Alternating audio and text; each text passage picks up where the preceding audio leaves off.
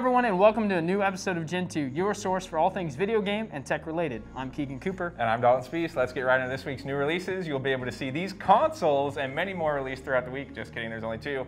And um, they're going to be your new favorite platform, so you better get used to it. this week, we won't be focusing much on games, but because we'll be focusing on the brand new consoles coming out this week. This week, everybody, it's time to get excited because next gen is here. For those lucky enough to get pre-orders, they'll like be me, like me. like him, like him. You'll be revving up those new consoles, and so we're gonna take a look at what's inside.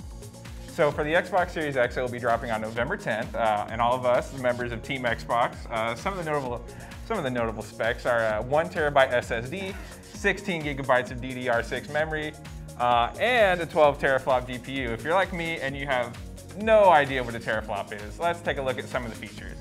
My most anticipated feature is Quick Resume, which allows a person to have up to five games suspended and ready to play at any time, uh, returning you right to where you left off. No loading screen, no main menu to even go through. It's pretty, pretty neat if I do say so myself. It also features 4K gaming at 60 frames a second with the ability to go up to 120 frames. That's, that's double. That's a whole lot of frames. And uh, also ray tracing thanks to a pretty beefy processor. If you want tr to truly experience those high frame rates, it may be time to go TV shopping though, as HDMI 2.1 is a fairly new feature among television makers. The PlayStation 5 releases on November 12th. For us, members of the PlayStation Nation, baby, here are some of the specs. The PlayStation 5 is shipping with an 825 gig SSD and a 10.3 teraflop GPU, and like the Xbox, 16 gigabytes of DDR3 RAM. As for the PlayStation, its features include a next-gen controller, faster load times, and a smooth, sleek look to welcome the new generation of gamers. It's huge. What do you mean? It's, it's, it's gigantic. That thing's a spaceship. Sleek. So these new consoles and a whole lot of games will be coming your way this week. Up next, check out X-Gen with the Big Daddy himself, Dalton. Hello, everybody, and welcome to a new episode of X Gen. At the time of recording, the new consoles are still not quite out yet, so that means we're still going strong. And this week, I decided we should hit the streets and take a look at what I think is one of the best looking games out right now.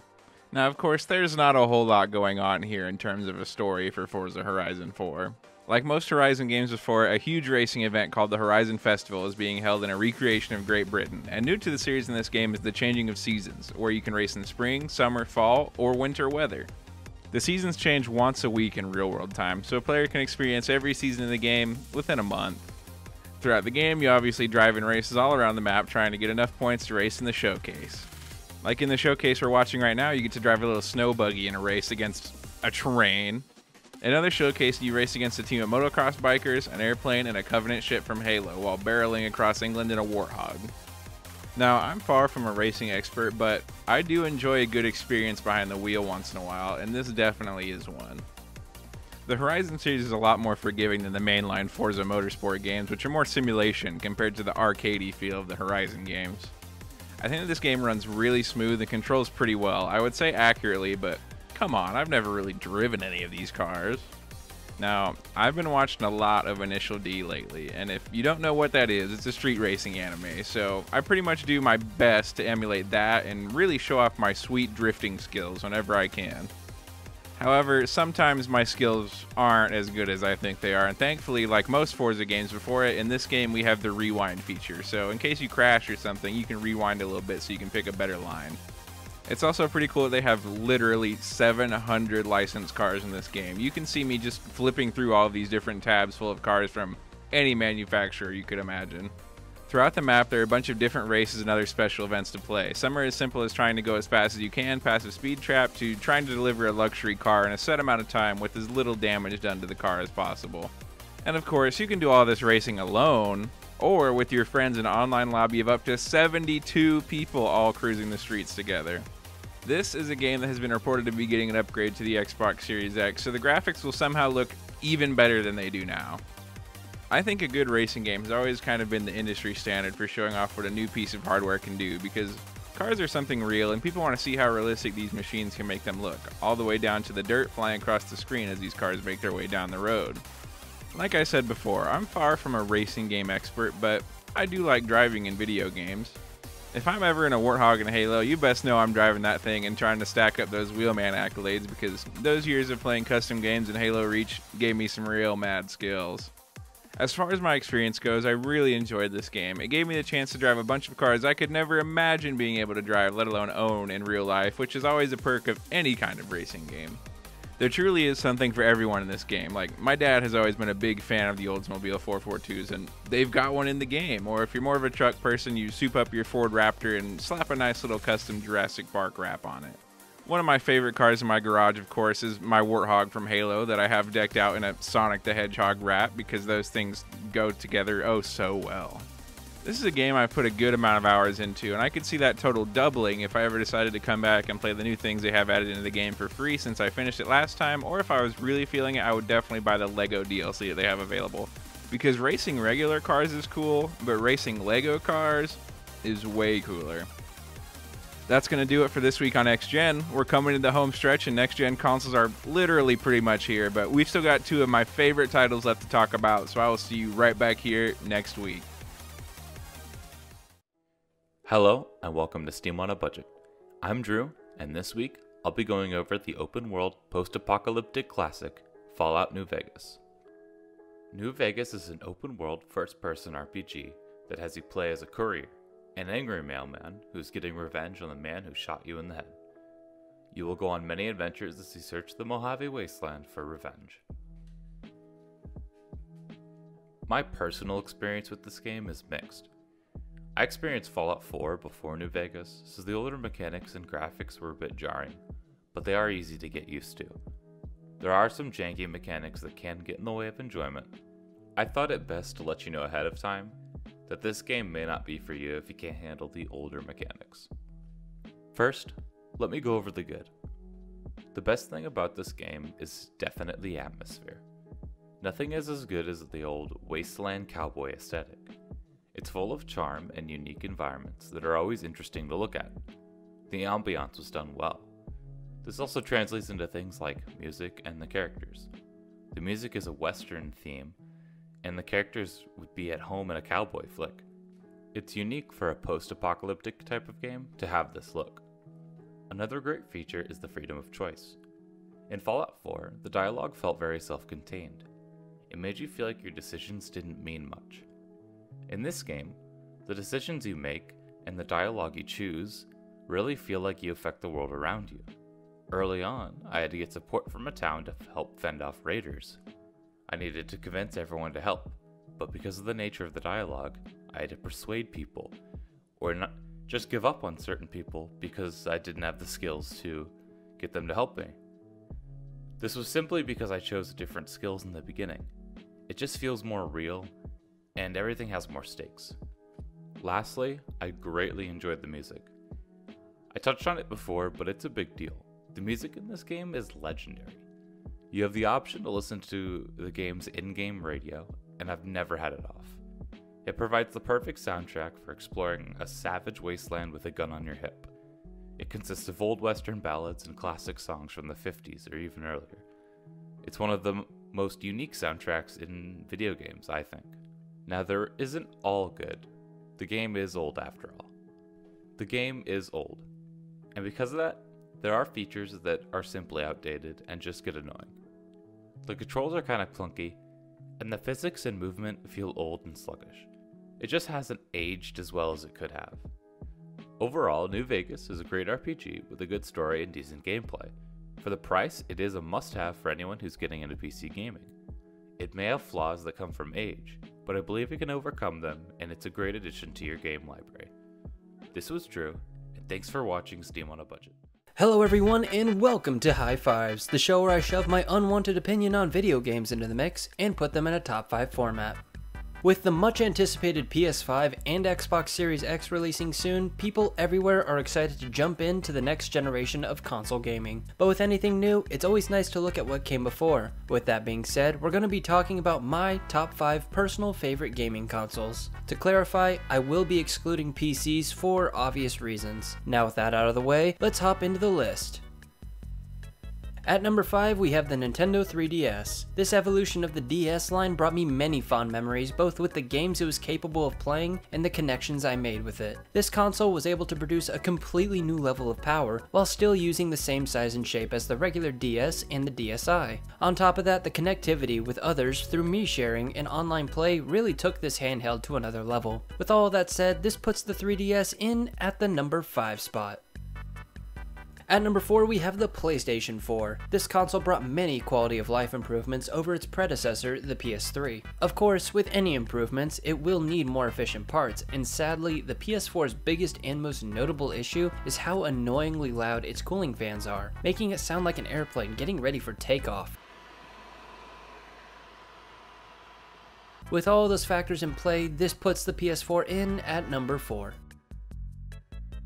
At number 3, we have the Xbox 360. This was one of the first consoles I truly owned and spent a large amount of time on. There was no outstanding flaws or benefits to this console. It brought what it said it does and it did it fine. However, my reasoning for loving this console was simply by the nostalgia behind it, bringing up memories of accidentally swearing in the living room and getting yelled at, playing Call of Duty until 3am, and even playing the notorious Kinect Star Wars.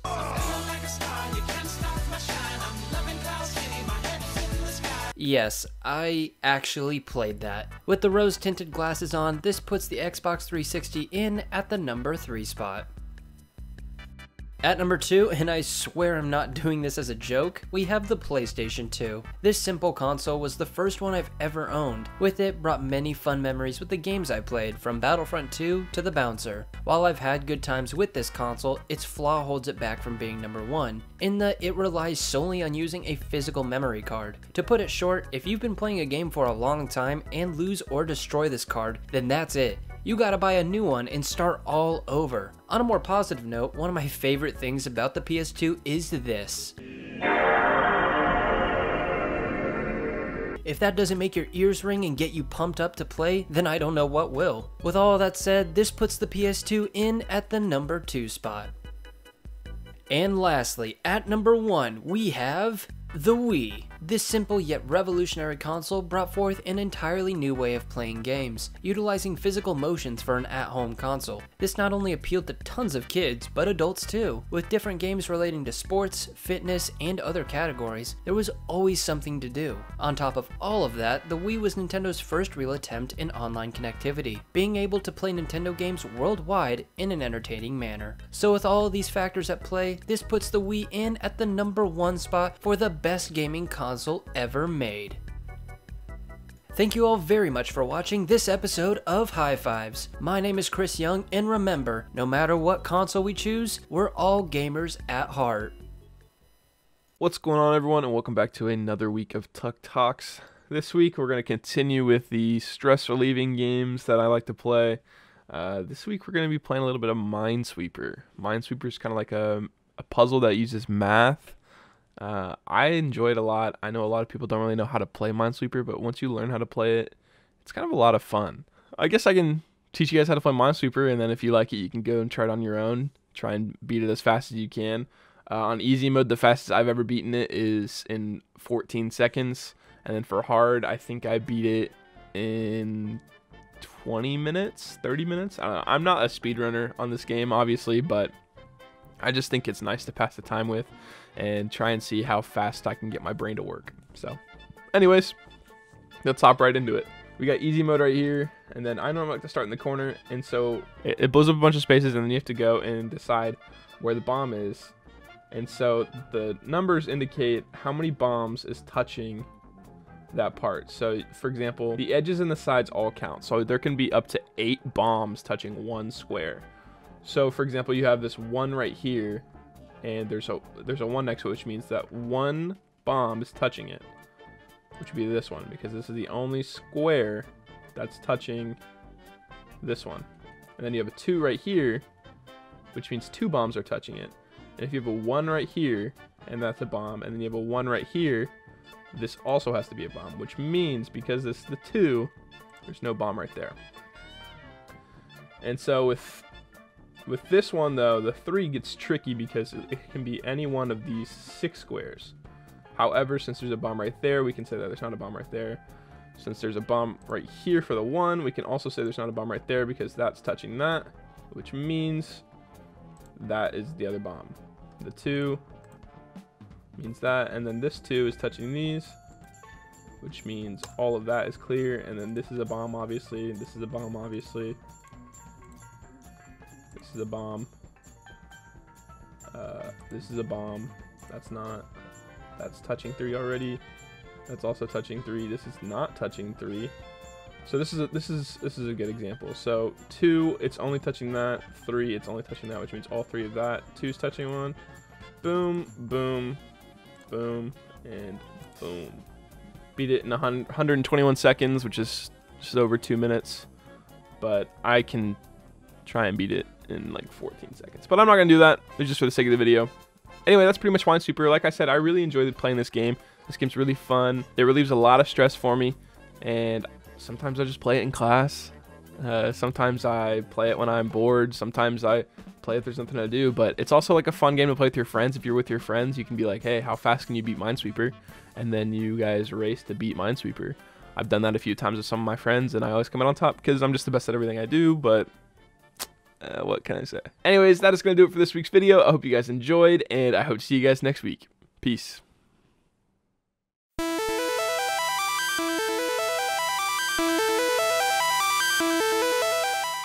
Hello, everybody, and welcome to another episode of Project Delta. I'm your host, Dalton Spees, and with me this week is Will Linder. And we are taking you on a trip to Willville. Now, Willville is a Minecraft world that Will has been building since middle school, and I, I can't wait to step out onto the town with you, Will. So, um, exactly how long have you been building Willville? You can go ahead and get started, and you can just kind of explore Sure. the world as we talk. Um, but yeah, how long have you been working on this? So this has been a world that I've been working on for 10 years now.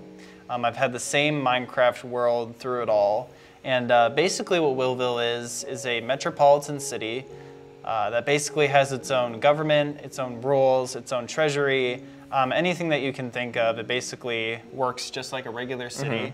And um, it's very vast, it's very big. There's a lot of stuff we can go over. Um, but man, I'm just so excited to like show somebody this, like, because it's obviously just like my creative outlet um, that I've loved forever. So I'm really excited to just to show like, you know, this awesome thing that I've been doing for secretly. for like you don't want to 10 let anybody years. in on it. Yeah, like I've shown a couple like ex-girlfriends this and stuff like that, and they thought it was pretty cool. But I mean, most of the boys really like it, and there's a lot of stuff I can show you. Um, yeah, but do you want me to like kind of show you around a bit? I yeah, think sure. I kind of just scrolled kind of whenever you pass any points of interest, and you kind of kind of just shout out while we're going through questions. But I want to know um, when you first started this world, did you have any idea of how just massive this world will become? You know, um, it's funny because we're actually in a good place to kind of start our tour. Um, what you see kind of overhead here is like our main downtown district. Um, I've actually had this part of the world for a while now. And um, one thing that I always try to do is just like to follow the basic rules of Minecraft, where it's like I don't want to code, I don't want to do anything like that. I want to break blocks. I want to be as like honest with myself as possible. So everything you see here is pretty much like handmade.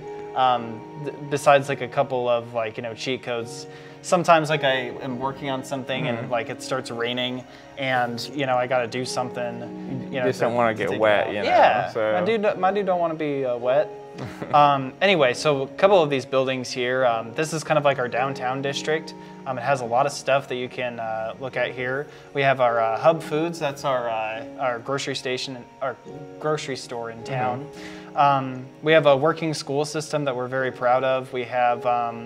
Let's see, a couple of skyscrapers that we'll come back to. Um, just they look nice and aesthetic for the urban setting. Of course. Um, we have our dome for our uh, science museum, and uh, let's see, we have this hospital too, which is pretty cool. Um, it's fully working. It's got helipads as well. Um, lots of like you know talking points here, but um, it really is just kind of like a mass thing that I have, um, and I can c- kind of fly over some stuff here. Yeah, and um, of course we, we did talk about uh, about it a little bit prior to filming. But um, what is your like creation that you're most proud of within this world? Obviously, you've spent you know a bit the better part of the last decade working on this. Is there a particular thing that you're really proud of the, being able to create? Oh man, like I've been like through so much, and, and even right here too. This is my uh, soccer stadium. Uh, sometimes these things just take so long to build. Um, and, and this is all kind of like from scratch and stuff. And there's a lot of things that you got to think about. There's, you know, uh, lighting and there's architecture and stuff. There's other examples from real world that you kind of look into. And then you start to kind of build something that you like. And, um, you know, some of these like bigger projects like the stadium, the amusement park, I've really tried to work hard on um, to get that. And, you know, uh, if you break a block, you always have to go back in and, And- and replace and replace it.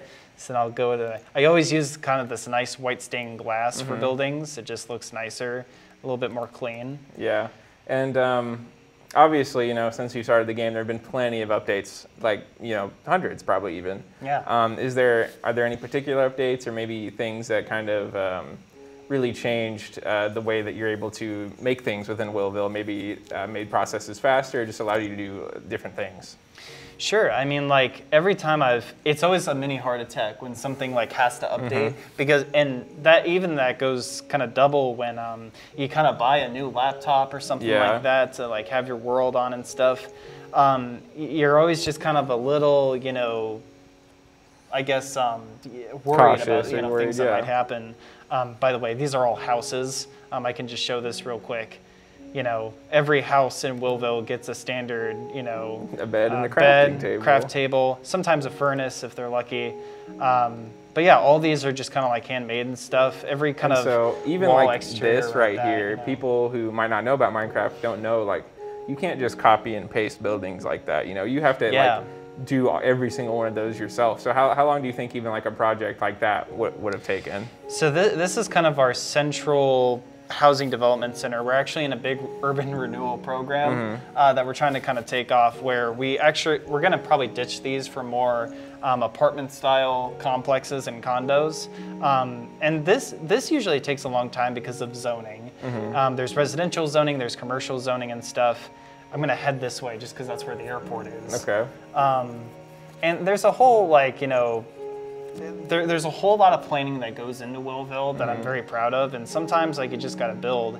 So what I was kind of getting back earlier is like sometimes it's really scary to like you know have an update because it's like oh I hope this world survives, and you know this is our airport right here. Um, it's it's pretty big so far, um, and we hope to build kind of more terminals. This is actually a good um, uh, reference point to like my future projects. Um, we're gonna have, if you can kind of see over here, just more, probably like you know helipads and another extra terminal, a couple more hotels that we'll build on the horizon, and then uh, private hangars uh, for our citizens For to celebrities, of you course, know, the yeah, A-listers. yeah, um, it- you know, just so they can kind of get set with some of that stuff. Um, And so me, like just hearing you talk about this, like Willville really is a, a living and breathing kind of world within Minecraft. Um, is there like, um, what kind of has given you this interest into, I don't know, maybe like city planning and building and kind of things like this? Is this just kind of like, like you know, kind of like a hobby, or is it like you know, maybe someday in the future you, you might want to be something like a city planner?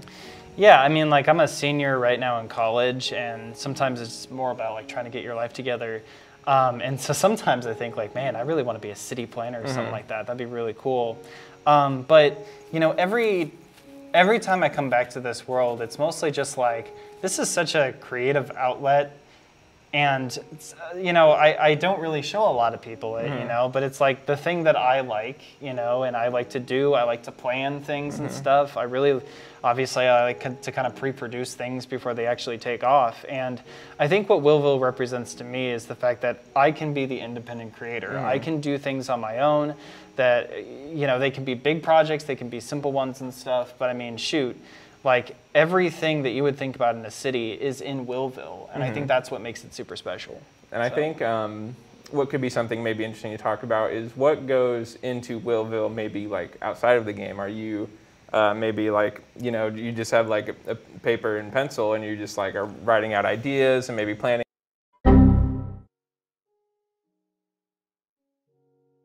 Well, sorry guys, we had uh, just a little bit of technical difficulties. Will's world is kind of huge. I don't know if you guys picked up on that. So Minecraft kind of exploded, um, but here we are with um, pretty much what Will's working on right now, which is a giant theme park. He's giving me a little bit of a tour of it, but Will, I'll let you tell everybody else what you've got going on and what you plan on doing in the future with it. Sure. So um, this is kind of the new project that we have going on in Willville. Um, it's basically this multi-deluxe amusement park um, that we've kind of put together. Um, as you can see, it's kind of the start of something big, and hopefully we can kind of add on to it in the future. Uh, that's kind of like our landing space here. Um, the cool thing about this uh, amusement park is that we actually want to kind of combine it. So actually this will be, let's see, probably like a communal garden place Mm-hmm. is what we're thinking about. Or maybe like something cool like bumper boats. Who Oh, knows? yeah. Um, we got kind of a couple of coasters uh, along here that have worked out pretty well. Um, but this is kind of like our new uh, project, you know, for the city, uh, like many others. And there's always something to work on here in Willville, so we're real proud of what we've had Yeah, you're, you're going to give Six Flags a run for their money. We will, yes, and Worlds of Fun as well. Who needs them, right? Yeah, Uh, so, you, Will, you got a fantastic world, and you, you really helped us have a fantastic episode of Project Delta. So, of course, I'm Dalton Spieth, and this is, Gentoo. Delta. and we'll see you next week.